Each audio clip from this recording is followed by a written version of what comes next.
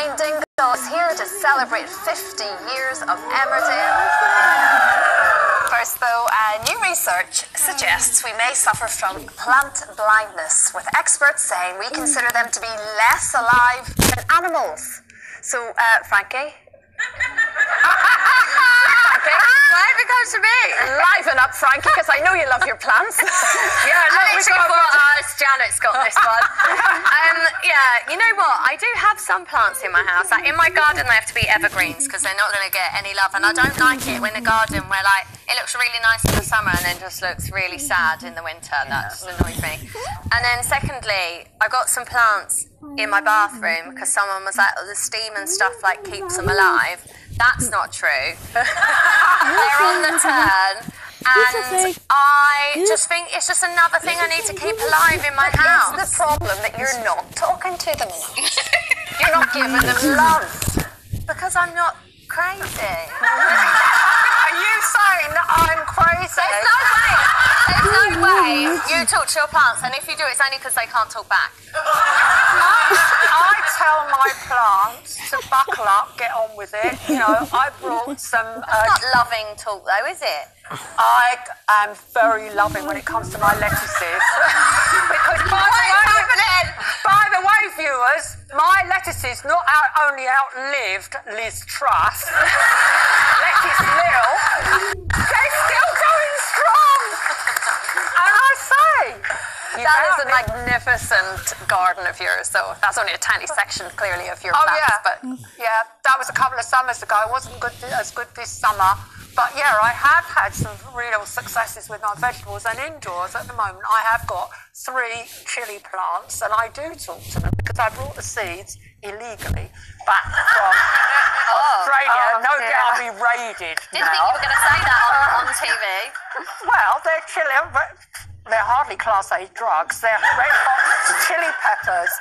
And I've had a bit of a dilemma because I love plants, but they've got too oh, big. Sorry, Brenda, I can't see you. Brenda!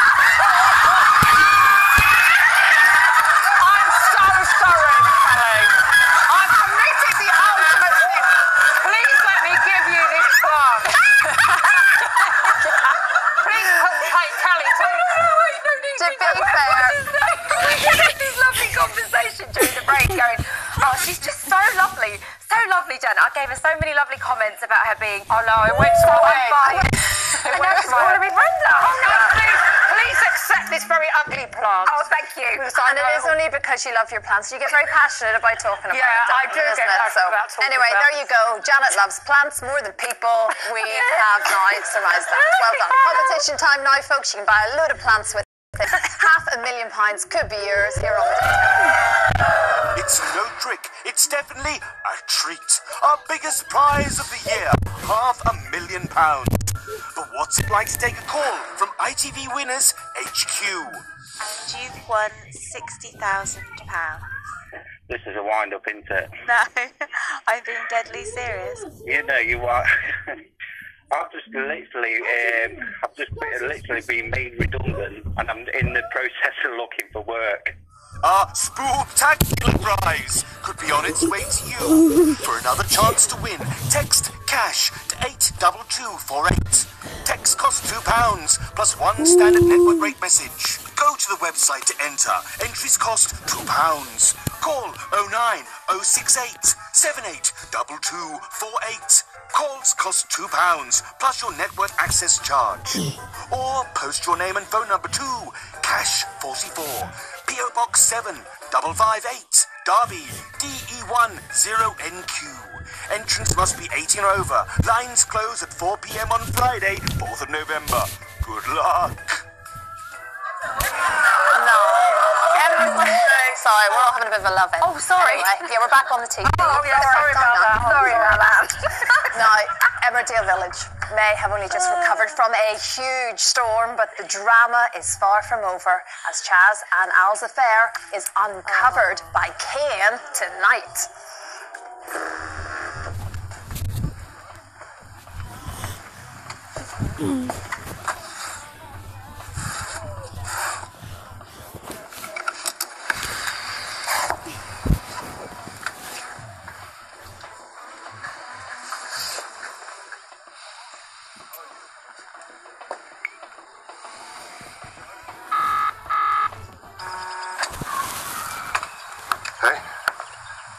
This is it. You got my messages?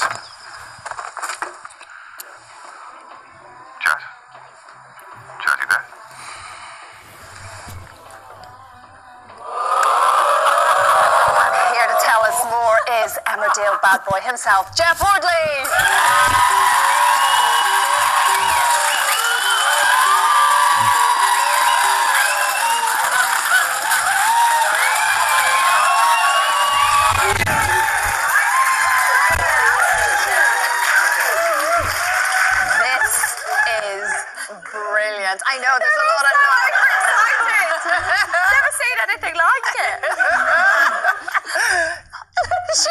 She's up. I'm gonna have to get you to yeah. Pull back there, right, Jet. This is fantastic. I mean, it's been quite a few weeks, months in Emmerdale, in fact. But this week, it's actually this is no spoiler because this is being trailed all over ITV at the minute. It's you standing with a gun. That Yeah. never ends well in Soapland. No, it doesn't, and um, it all comes to a head tonight with um, Michael and myself. Um, so yeah, you, you have to watch, tune in, and see what happens. Should be good. That's playing a bit. That's a little bit playing it safe. Not going to have any spoilers at all. Well, you know, I think people can guess something's going to happen. Um, the good news is, is, is from here. There's some really good stories. You know, like I think when you do um, stories like this, you've got to have the ripple effect afterwards, and, and this causes uh, certain ripples throughout for various characters within the village. So, yeah. This is a Whether very- it's me, I, I can't tell you. yes, of course. This is a very violent show. They've had to explain to me. I mean, what show, what what soap isn't mm, kind of violent or Well, all right. I've know- got I've got four points here. Harriet, the village vicar, died after she fell off her quad bike. Yeah. Sam Dingle and Nick Robinson were left running for their lives after a cow stampede. Sam Dingle was left in pain after being impaled on some farming machinery. And Liv was crushed by a caravan. You couldn't write it, could you? you actually couldn't write it. That's all in one week. Yeah, yeah, yeah. So when you go to work, are you worried about what's next? I'm worried uh, every year. We're only on uh, a year's contract at a time, and th- there's uh, times of the year when people's contracts are up, and yeah, everybody's nervous. But you've been on it for 22 years now. Yeah, I had a little break um, for three years, so I think I've done 19, but 22. The character's been around for 22 years. So you must have like light and shade with your character. It must be fun. All these like massive dramas that go on. And... Yeah, I think I've been lucky in because I've been in the show for so long. The writers have written really well for the character, so many lay- layers to the character, and you know, I think the stories that we had just recently with with Sally Dexter, with Faith, you see a different side to Kane because I think she's the only person that can make him act in It the was way he has emotional, done yeah, because very much so. she was his mother, and It was the softer side of. Yeah. I'm a hardcore Emmerdale fan here, Right. so yeah, yeah, I'm trying to contain myself like a lady in front of. Um, but the 50 years of Emmerdale as well. We won the NT. We, we won the NTA. I we said won it, I was Yeah. Thanks, Christine. Congrats, Christy. We won uh, the NTA. I feel part of Emmerdale cast. Um, and of course, King Charles did this beautiful dedication to the show. It's been there for, certainly mm, growing up, Emmerdale has always been there in our household. And it's part of your your family, your wife's involved in the show clearly as well. It, it takes over. So after 22 years, you can't imagine life without it. No, it's been good to, to us as a family, um, and I feel like I have a, a not not only my own family. It's been it's good, been good for us, but you know I have a, a kind of a group of core group of friends there who I've grown up with and and, and collected along the way. Yeah. So we've got these great friends now within within Emmerdale as well. But so aside from Emmerdale, your passion, like Janet, Yes. is getting out into the garden, or indeed your allotment. Yeah. And uh, you're most proud of, is it tomatoes, chilies? I hear chilies. over chilies, tomatoes, yeah. Yeah. We've had not much success with cucumbers this year. I haven't grown cucumbers, but I was banned from talking about my tomatoes on the show. Well, because last year Brenda and I had a bit of a tomato growing competition, and it took over. So we were competing on the show, and there would be whole parts where we just talked about our tomatoes. And it's this year, I'm afraid, I've not been allowed to discuss. Thank, thank goodness you were on I'm here. today. Let's, let's, So, let's talk can I- tomatoes. I don't know about and everyone else, I've checked out. Now, are you growing winter lettuces? I've got some actually. I've got some. Story ladies, this is some. more important than the storyline to me. My mother-in-law just popped up and, and commented on our lettuces in the back garden.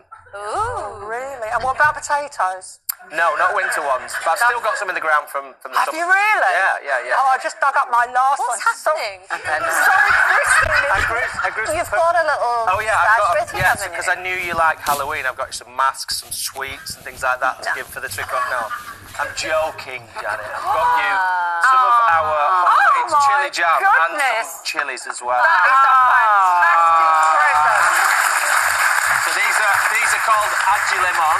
Yeah. Very hot, brilliant. Yeah. You you know you can use the seed Jeff, to grow more. Jeff, Janet, I'm going to let you continue your Oh, chilly chat because we have to go. Um, thank you very much for your company, audience. Thank you very much, Jeff. We will see you tomorrow. Happy Halloween. Bye bye.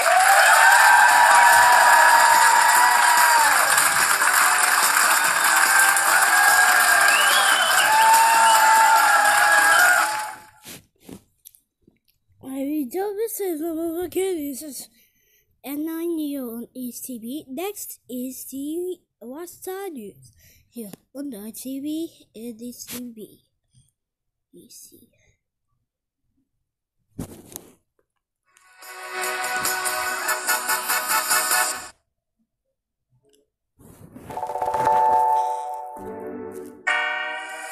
Freeman's, proud sponsors of Loose Women. Oh, watching each other. Coming up, the Home Secretary under pressure over the migrant chaos.